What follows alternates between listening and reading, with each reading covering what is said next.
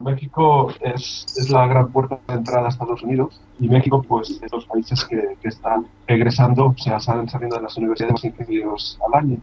con lo cual tienen potencial de innovación eh, enorme. Eh, en este sentido, pues, uh, es un puente entre Latinoamérica, eh, por un lado, y, Estados Unidos. Y, y, y México está afrontando reformas educativas y reformas en áreas estructurales muy interesantes que yo creo que van a ser la base para la innovación y, y una base de negocios importantísima en el siglo XX, todos los sentidos, como salud y como.